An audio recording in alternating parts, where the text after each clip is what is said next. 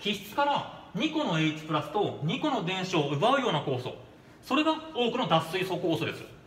脱水素酵素どんな形してるかっていうとこんな風にちっちゃいパーツとでっかいパーツが合わさってできてます。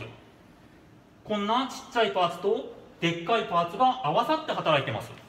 このちっちゃいパーツを歩酵素って言います。まあ、超厳密に言うとね透析とかで分離できる小さな有機化合物。それを歩酵素っていうんだけど、まあ、このね歩酵素。とでっかいタンパク質部分。あこのタンパク質部分のでっかい部分はアポ酵素って言います。このアポ酵素と歩酵素がくっついて働いています。歩酵素とアポ酵素くっついたこの全体をホロ酵素って言います。脱水素酵素の歩酵素には多くの場合 NAD プラスが使われます。NAD プラスっていうのは歩酵素の一種です。でそもそもねなんで基質からね、電子とか H プラスを奪わなきゃいけないかっていうとこれ基質のモデルだけどちょっと正確じゃないけど基質のモデルだけどこの基質って多くの場合は食べ物に由来します。で食べ物なんで僕ら食べ物食べるかっていうとその食べ物の中にすごいエネルギーが入ってるからそのために我々は食べ物を食べるわけです。でこの食べ物由来の気質この電子のところにそのエネルギーが入ってます。それを俺たちは食べ物からエネルギーを奪わなきゃいけないんでそのために使われる酵素がこの脱水素酵素なんです。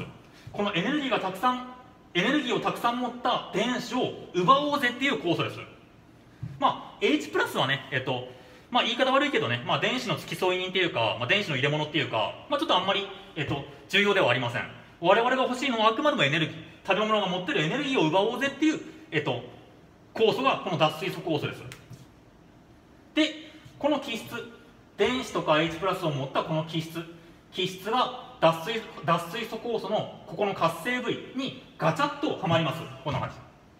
ガチャッとはまります。そんでこの脱水素酵素は2個の H プラスと2個の電子を奪ってそのうち3つを NAD プラスに押し付けます。電子2個と H プラス1個をもらった NAD プラス。これを NADH って言います。H を1個もらってるから H がくっついてんだね。もうここにプラスって書いちゃいけないよ。ここにプラスって書いちゃいけない。なんでかっていうともともとプラス1だった。でもう1個 H プラスをもらってプラスが2になった。でマイナスを E マイナスを2個だからマイナスを2個もらうからプラスマイナス消えちゃってここにはプラスなんて書いちゃいけないんですね。これが NADH もう1個の H プラスもポロッと外れます。これね。個あった H プラスのうち1個は放出されます周囲の溶液中に放出されます、まあ、僕らで言ったら細胞の中にポロッとねあの放出されます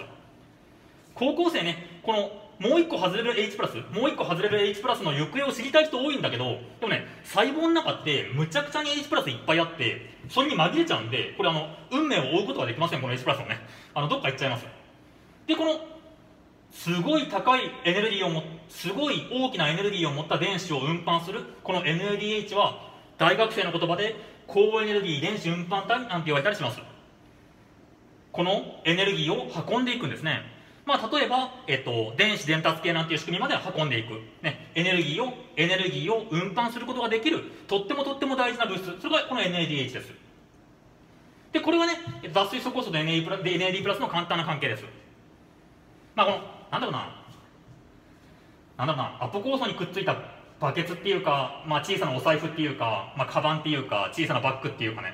まあ、まあ、電子と水素の入れ物だね、NAD プラスってね。